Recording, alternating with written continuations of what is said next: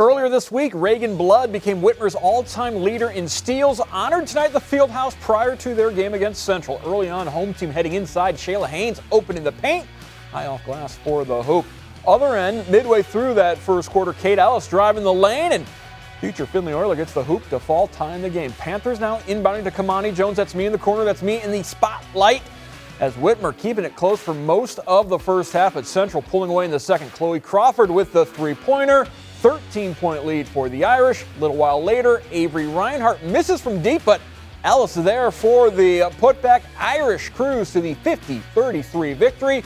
Isaac Petcatch caught up with the victorious Coach Stanley after the Central victory went on a run there in the second quarter, and, and that gave us um, some nice momentum. Uh, not happy maybe about the slow start, but I think once we got going, uh, we kind of got the flow of the game a lot better. Do you feel like you're hitting your groove as we move through the middle of the season?